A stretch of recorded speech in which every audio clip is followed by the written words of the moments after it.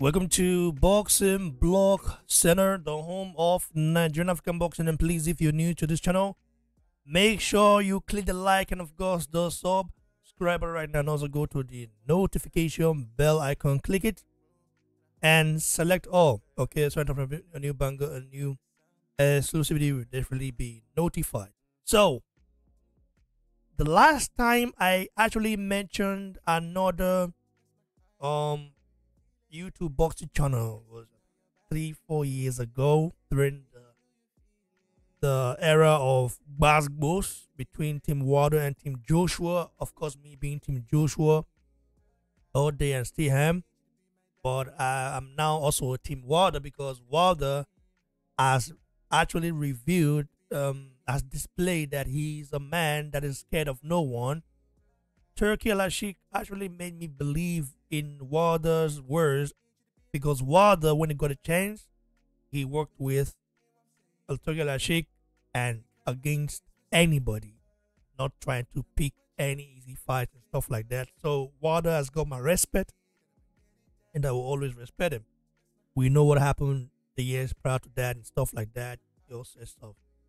But there is this guy, the owner, his name is Nes of the Boxing Voice, the owner of the Boxing Voice, whom I will call the No Boxing Voice. Okay, he said something in a recent, uh, one of his recent videos, um, live videos, um, on YouTube. You know, why they were discussing the price drop, the pay per view price drop. You know, the Dubois, um, um, Joshua fight. Um, is about 20 bucks uh, less than 20 bucks in america. The american audience will pay less than 20 bucks for it. Like I say 1999 that's like 20 bucks. Then um he was very like kind of annoyed. I don't want to play i don't want to play the uh the of an audio or video right here so i don't get a, a strike you know or copyright you know infringement stuff right now. You know what i mean? These guys when you talk about them they tend to want to take your channel down. You know, I have experience in, you know, in regards to that. Now he said something that actually made me very hungry. He said Joshua is not a marquee fighter. He's not a marquee fighter in the US. He's not a household name. He's not a marquee fighter like Gervonta Davis and Canelo Alvarez. That actually got me very annoyed because if I should, if if my memory is right, Joshua sold out um the arena in the US, MGM Arena, M- no MSG Arena in the, in the in in New York, right?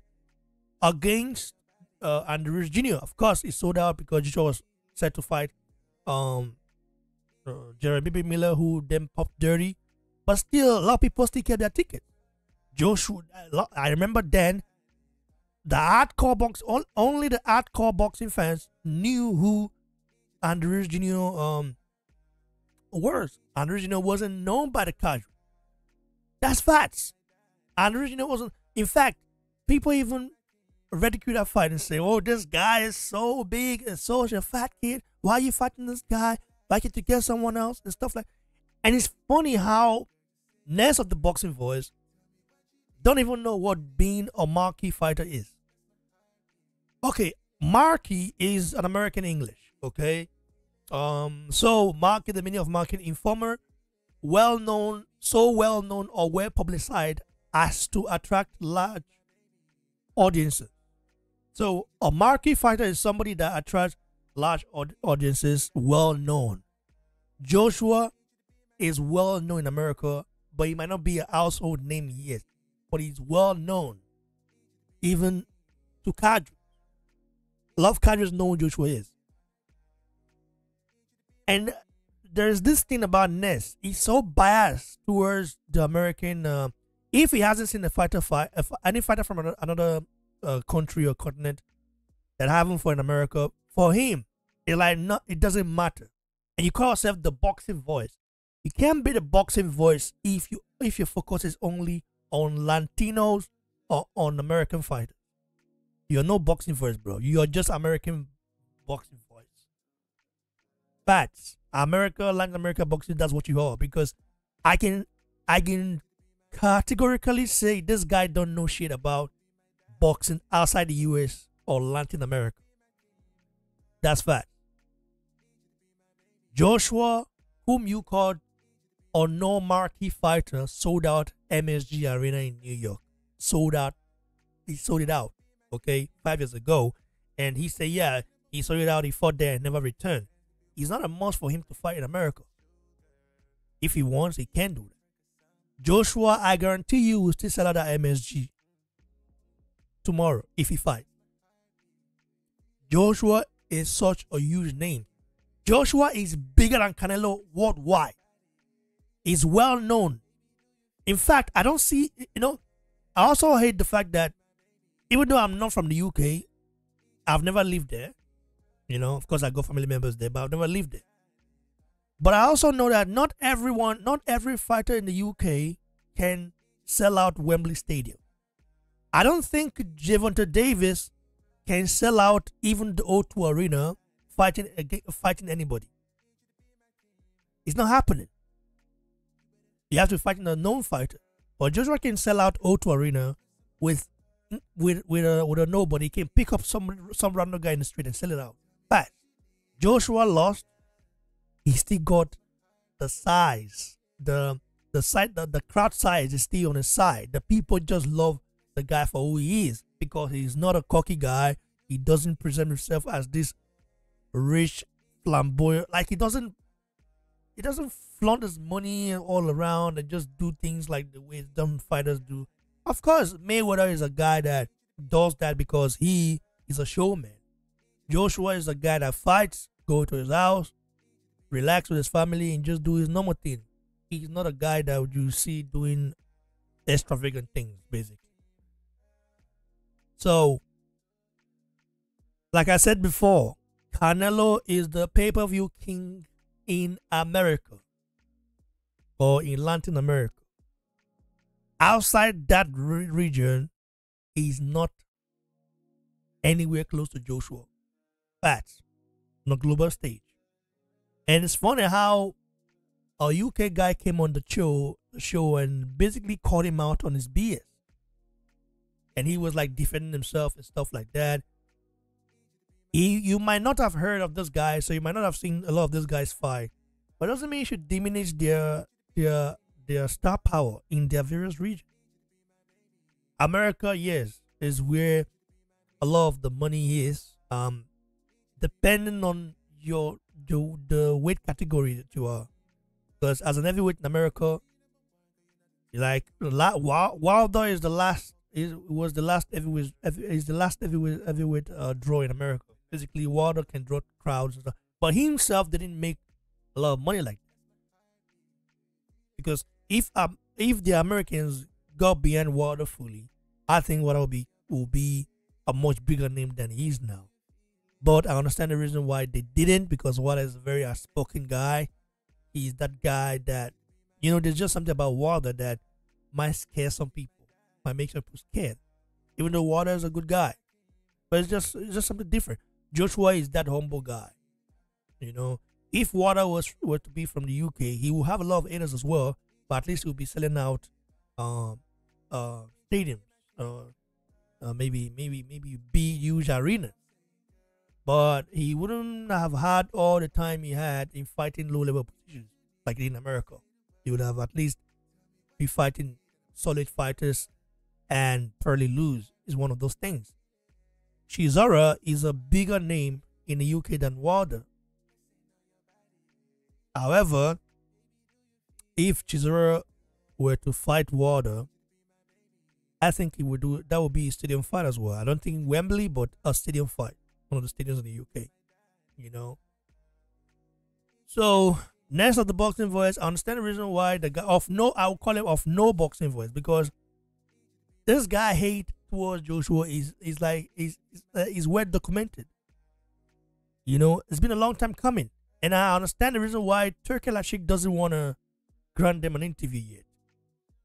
Turki Al listens listens to every podcast, every boxing podcast. He knows who is who. He knows who is really about the love of the sport and who is about the cloud. Nes of the boxing voice is about the cloud. He loves um like there are some fights that you know um I watch you know from America. I don't even know who they are, but I just watch it because I love boxing. And then these fighters later become well-known names, not established but well-known names. You know, I remember the first time I watched a Danny Jacobs fight. I was like, who is this guy?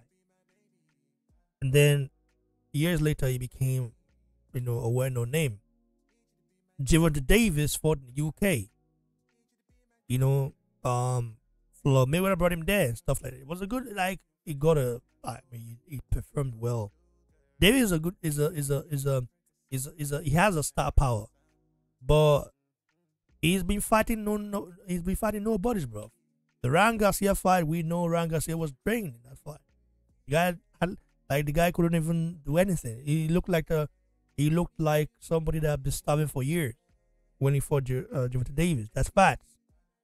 So the this biasness of Nes is is is so is so pathetic. Joshua Joshua remains the mo- the number one face of boxing globally. When we talk about globally, we are not talking about just fighting in Mexico or fighting in America or fighting uh, in the corner of America or South Amer- or South America. No, we are talking about fighting in various venues around the globe and selling it out, selling them out. Joshua has been to America. He sold it out. He sold out multiple stadium uh, events in the UK. He's fought in Saudi Arabia. Sold out. You know what I mean? So don't compare. Canelo might have more money than Joshua because Canelo, has, Canelo turned pro when he was 15. But yet, if you go on Forbes list, you still see Joshua is not far ahead of Canelo. And Joshua didn't start boxing until he was 18 or 19. So you see? And I'm not comparing them for sure, but I'm just saying don't downplay other people, the fi- fighters from other countries because you don't know who they are. As a boxing fan, you call yourself a boxing voice. You must watch every of these fights with an open mind and then see how good they are. Because anytime this guy here, there's just something about this guy. He has a some sort of some sort of disdain for other fighters from other, other countries, from other countries. Like anytime he hears a British fighter, oh, he just he says also crap, and then the same with other fighters from different uh, countries. So, so because they're not Americans, all of a sudden, yeah, they are this, they are that. Nah, nobody knows who Gervonta Davis, David Davis is, you know, in, in most places around the globe. And nobody like the guy looks like he's a midget, bro. When we're talking about guys, we talk about giants. You know, guys of Canelo. Canelo is not uh, is not a giant, but at least he has a decent height. You know. So I don't know, man. I think this guy is a bit is very bitter towards Joshua and Turki Al Sheikh. You know, Turki Al Sheikh is getting love. Because it's funny how this guys all of us like you pay 90 bucks, 80 bucks, 70 bucks for pay per view for a fight, and there's someone who is who is trying to like who is actually reducing those price like like making reducing the price by 80 percent. Yet you still complain. So are you saying joshua is not worth 20 dollars like so, the the British uh, boxing fans they pay to watch American fighters, and at 5 a.m. They are even more. They are even more. They are more of a boxing fan. They are more of an hardcore boxing fans than the Americans themselves. The Americans are like are like are festive people. They like events. They like shows. You know, the show has to be huge. You know, the people have to be known before they support. At least the British, despite you know, um, football being the biggest sport in the world and being the biggest in the UK, at least they still have time for their fighters. Of course, there will never be another Anthony Joshua in the UK.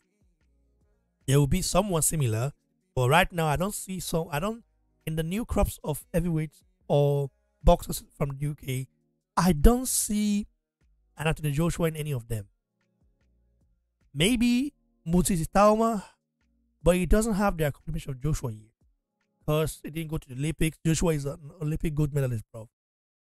You know, turning pro, becoming a world champion, conquering the world. Now he's, he wants to be a, a three-time world champion. Do you know how difficult that is? Man, I think this guy should give Joshua his due credit and stop. Like, come on, say Joshua is not a marquee fighter. Are you kidding me? That just shows this guy don't follow. He doesn't know. He doesn't really know shit about boxing outside the U.S. or the or Latin America. Facts. So don't call yourself the boxing voice. This is the reason why a lot of his peers have more subscribers than him. He should be at, at least the work ethic. His work ethic is crazy. I respect it, but he should be he should be having at least over like let's say over um eight hundred thousand or a million uh, subscribers by now. But he's stuck where he is because he only focuses on fighters from a certain zone, and you call yourself the boxing voice. That is not how to be. I know. I know the guy doesn't care about anybody's opinion, including mine, but I have to speak my mind. That's what it is. So, oh, you're not a boxing voice. You are no boxing voice. That's facts. Blessed, guys.